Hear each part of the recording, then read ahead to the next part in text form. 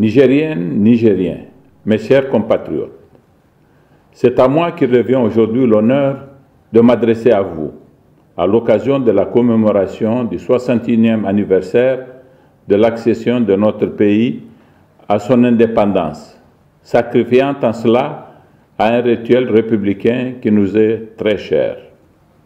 Je le fais avec d'autant plus d'émotion que bien de mes prédécesseurs devant ce prestigieux micro ne sont plus de ce monde. Je pense à eux tous, en implorant la bénédiction de Dieu en leur faveur. Permettez-moi aussi de rendre un hommage appuyé au président Issoufou Mahamadou auquel j'ai succédé. Grâce à lui, notre pays vient de réaliser sa première alternance par laquelle une passation de pouvoir pacifique et démocratique a eu lieu à la tête de l'État, conférant ainsi une distinction toute particulière à notre pays eu égard au contexte régional marqué surtout par des pratiques d'exercice de pouvoir à durée illimitée. Grâce à l'élégance de son geste, traduisant son profond attachement aux intérêts de son pays, ainsi que sa foi dans les valeurs de la démocratie, notre pays jouit aujourd'hui d'une excellente image internationale, nous ouvrant des fenêtres d'opportunités qu'il nous revient d'exploiter avec le sens de responsabilité requis. Mes chers compatriotes, en sollicitant votre confiance à l'occasion d'une campagne électorale à laquelle j'avais, vous vous souvenez, consacré beaucoup de temps, ce qui m'avait permis de visiter même ceux d'entre vous qui vivent dans les localités les plus éloignées de notre vaste pays, j'ai eu l'occasion de bien connaître vos besoins et vos aspirations. Depuis quatre mois que je suis à la tête de l'État, je me suis efforcé de traduire en acte ce que je pensais avoir compris au plus intime de votre être. Dans le discours que j'ai prononcé au cours de la cérémonie de mon investiture, j'ai fait un état des lieux des défis auxquels est confronté notre pays et j'ai mis un accent particulier sur deux d'entre eux, la gouvernance et l'éducation. Mes quatre mois à la tête de l'État m'ont conforté dans mon option d'accorder une totale priorité à ces deux questions. À côté de celle-ci, j'ai aussi souligné l'urgence du traitement du défi sécuritaire. Sur ce dernier point, les organisations terroristes opérant pour l'essentiel à partir de bases situées hors de notre territoire ne nous ont donné aucun répit.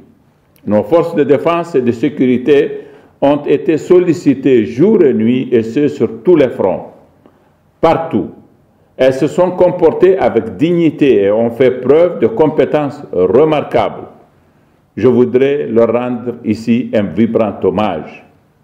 Je pense en particulier aux batailles héroïques qu'elles ont livrées à Difa, à Bosso et à Tchomabongo. La compétence qu'elles ont accumulée à force d'âpres épreuves nous a permis de créer un rapport de force favorable au point où les hordes criminelles embrigadées dans l'IGS sont désormais réduites à une seule recette consistant dans les tueries en masse des populations civiles paisibles et innocentes, comme ce fut le cas à Bakorat, Intezeyen, Tchomabongo, Zarumdare, Deukoukou, Ouye Ziban et j'en passe hélas.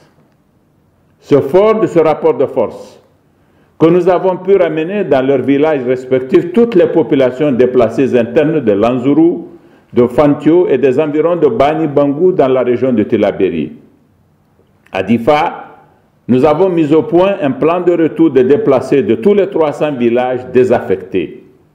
Nous avons d'ores et déjà mis en exécution la première phase de ce plan ayant concerné 19 villages, dont le village emblématique de Baroua par lequel l'opération avait commencé.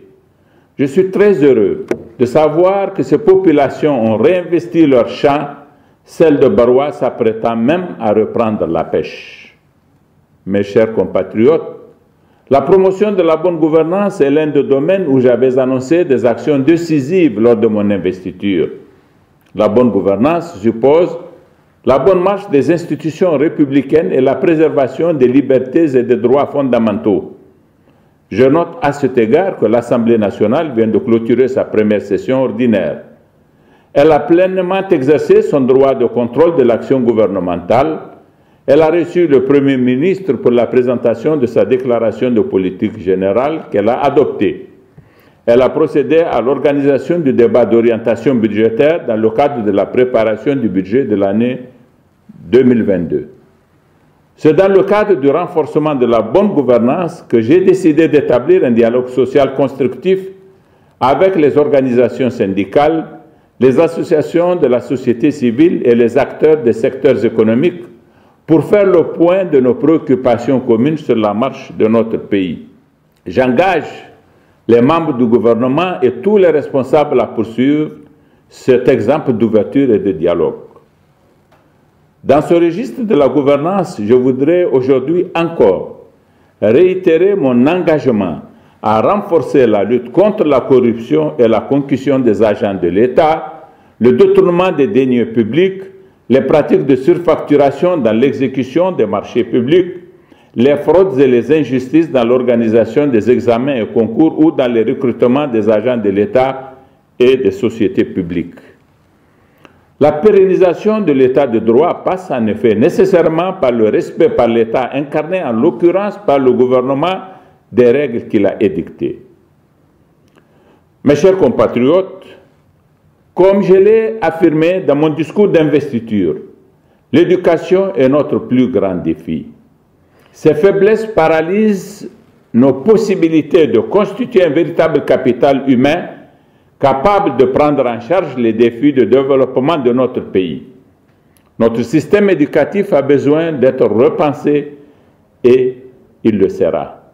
Ce sera la traduction du contrat qui m'est au peuple nigérien D'ores et déjà, et conformément à mon engagement de suivre personnellement les réformes engagées dans ce secteur, j'ai eu à consulter les partenaires de l'éducation sur les principaux axes de ces réformes afin de les sensibiliser et de recueillir leurs opinions et leur soutien.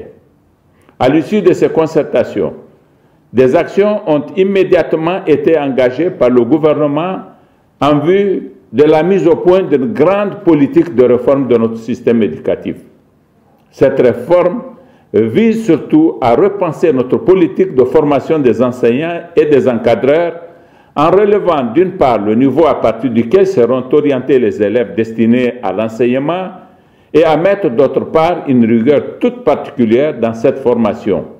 Des mesures incitatives spéciales seront mises en œuvre pour favoriser le recrutement de professeurs dans les disciplines scientifiques dont nos établissements manquent cruellement, ce qui explique en grande partie les contre-performances de nos élèves. Des internats pour jeunes filles seront construits en vue de garder les filles le plus longtemps possible dans le système éducatif et leur donner de réelles chances de promotion sociale. Notre système de formation professionnelle sera rationalisé pour lui permettre de produire les cadres techniques si indispensables pour notre économie. Concernant l'enseignement supérieur, je compte, entre autres actions, faire en sorte que d'ici la fin de l'année 2023, nous puissions satisfaire tous les besoins de nos universités en enseignants-chercheurs. Mes chers compatriotes, cette année encore, l'anniversaire de notre accession à l'indépendance se déroule dans un contexte de préoccupations sanitaires dues à la pandémie de la COVID-19, avec notamment l'apparition du très dangereux variant Delta. Je voudrais vous inviter à vous faire vacciner, vous tous, et à respecter toutes les consignes sanitaires pour éviter cette maladie. La commémoration de l'indépendance s'accompagne traditionnellement des actions de plantation d'arbres et de reboisement. Cette année, L'opération a pour thème Valorisons le Moringa pour améliorer l'économie locale. La production, la transformation, la consommation et la commercialisation des produits Moringa par les communautés locales et les organisations de producteurs est quelque chose que nous encourageons du fait de son impact dans l'amélioration de l'offre alimentaire dans notre pays. Je voudrais enfin, mes chers compatriotes, Souhaiter un hivernage fécond pour notre pays et une bonne campagne agricole pour nos vaillants agriculteurs qui contribuent plus que nul autre acteur au développement économique et social de notre pays. À tous et à toutes, je tiens à vous réaffirmer ma foi et ma détermination pour la réalisation d'un Niger stable et prospère, résolument engagé dans la satisfaction des aspirations profondes de notre peuple.